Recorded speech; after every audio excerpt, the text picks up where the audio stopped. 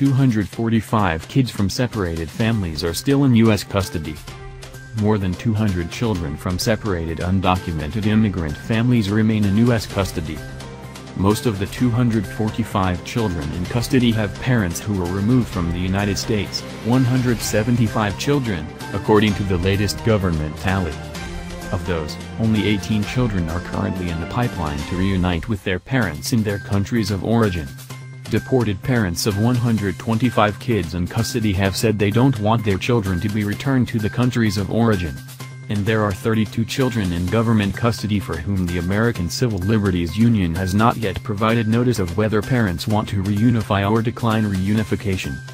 An additional approximately 70 children who remain in custody include 27 whose parents are in the U.S. but have chosen not to be reunified with their children, as well as 26 whose parents have been deemed unfit to be reunified.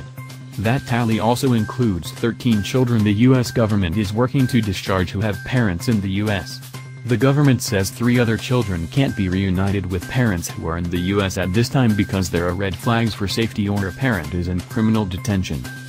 The new numbers appeared in the latest federal court filing in the ACLU class action case over family separations. They come as the Trump administration considers a new pilot program that could result in the separations of kids and parents once again. A status hearing in the family separations case is scheduled for Tuesday afternoon. In June, U.S. District Judge Dana Sabraw ordered the government to reunite most of the families it had divided, including parents and children who had been separated as a result of the government's now reversed zero-tolerance policy at the border and some separations that occurred before that policy was put in place.